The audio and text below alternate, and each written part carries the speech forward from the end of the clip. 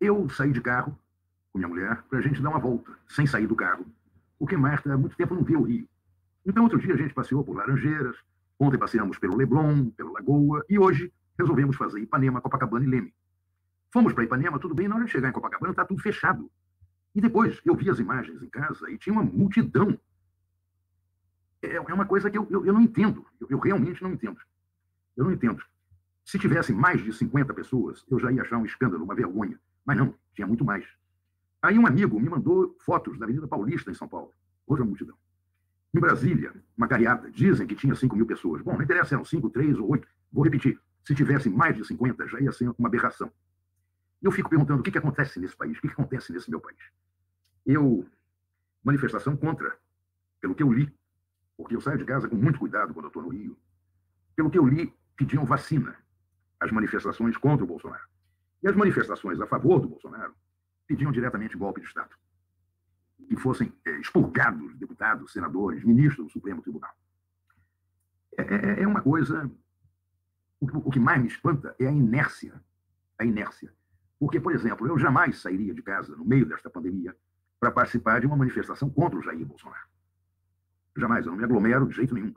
Eu, quando saio de casa, eu vou de carro. E quando vou a algum restaurante, que são dois, três, são restaurantes que que eu conheço há muitos anos e que eu peço mesas, não na calçada, mas mesas isoladas de qualquer coisa. Eu, eu levei um choque hoje, eu fiquei muito chocado com esse negócio aqui de São Paulo e tal. Por quê? Por que, que eu fiquei chocado? Porque comprova para mim que o Brasil é um país amnésico e anestesiado. Eu detesto tal comércio fechado. Por exemplo, eu tinha um mecânico no Rio desde 1986, fechou. Eu tinha uma livraria no Rio, onde eu lancei vários livros, onde eu era amigo, a Timbre, grande livraria, histórica livraria, fechou. Muita coisa fechou. Tinha uma doceria na Gávea, de doces portugueses, que eu adorava, fechou. Eu também detesto o comércio fechado. Agora, vem cá, isso não é motivo para me aglomerar na rua. Eu também detesto ficar isolado em Petrópolis, e aqui no Rio não ver amigos, não ver praticamente ninguém. Agora, não tem outro jeito. O, o, o Lula, eu vi a fala dele, eu, eu gosto muito de discordar do Lula, com quem eu tenho uma relação muito afetuosa, muito amistosa disse na fala dele que nós andamos para trás. Faz muito tempo que eu não vejo Lula, muito tempo. Mas se eu falasse com ele hoje, eu diria o seguinte: Lula está errado de novo. Nós não andamos para trás. Nós despencamos, nós desmoronamos, nós estamos sendo massacrados, estamos sendo arrasados. Porque digamos que houvesse 5 mil pessoas na Vida Paulista, que houvesse 5 mil pessoas na Vida Atlântica. O que muda isso? Não muda nada. Muda na cabeça demencial do Bolsonaro, que acha que o povo está com ele nas ruas. Não está. Não está. Então, em termos políticos, eu acho que é muito pouco e não me impressiona muito mais em termos sociais, digamos. Quer dizer, até que ponto vai a ignorância, a imbecilidade dessa tropa que foi para a rua. Quer dizer, é um, é um, fanatismo que a base do Bolsonaro, se a gente pensar bem, tem 12, 13%, pesquisas mostram isso. Aí ele tem 28, 30% de aprovação. Espera um pouquinho. A aprovação é mais ou menos, porque 12, 13, talvez 14, acha ele ótimo e os outros 20, ou 16, ou 18, acham que está tudo bem. Então, em termos políticos, eu acho que vai ter um efeito muito positivo no Bolsonaro, nos filhos milicianos dele, na miliciana espalhada no governo, e não vai mais além. Em termos sanitários, eu acho que você fez muito bem de chamar atenção. Eu acho que, como se fosse pouco, o horror que a gente está vivendo agora. São Paulo, por exemplo. Com medidas tímidas, medidas vai haver uma outra explosão de casos. Nessa volta que eu dei hoje, ontem, sobretudo, pelo Leblon, que é o metro quadrado mais caro da América Latina, eu fiquei pasmo. Vou repetir, eu dentro do carro, Marta dentro do carro, a gente não sai. Era vida normal. Uma coisa absurda. Bares cheios, aglomerações. Quer dizer, o que considera aglomeração? É, se num bar você tem uma mesa com duas pessoas, aí a três metros você tem outra mesa com quatro pessoas, eu já acho um tremendo risco. Agora, está tudo lotado, eu acho absurdo. Não tem fiscalização.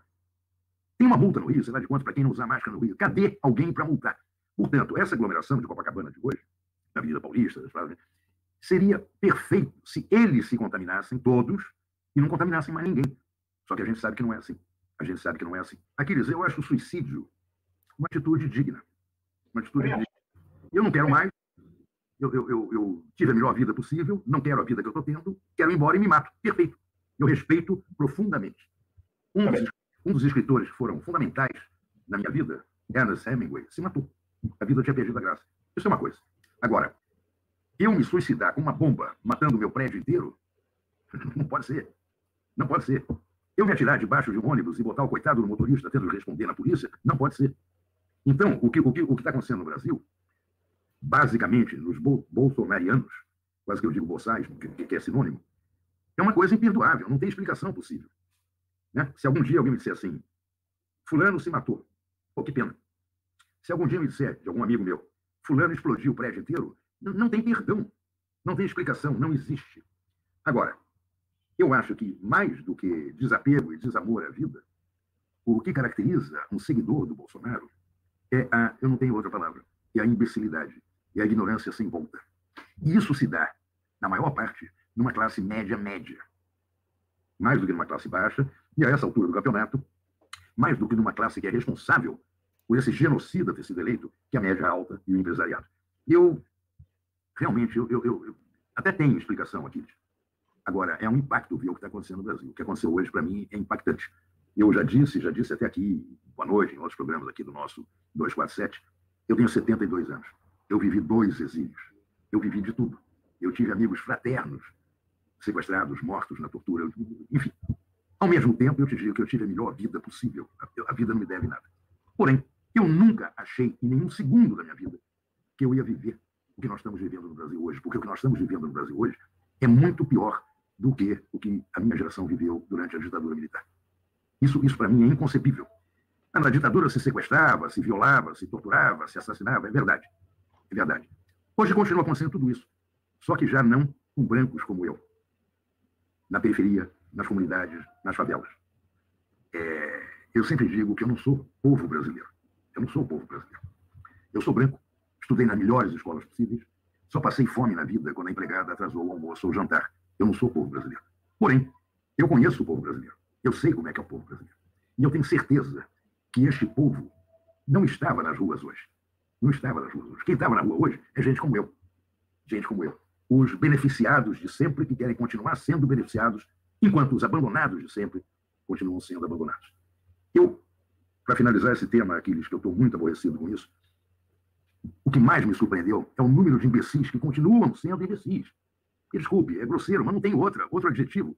Quem é que pode, nessa altura do campeonato, ir para a rua defender o genocida? Vou repetir, 50 já seria um espanto.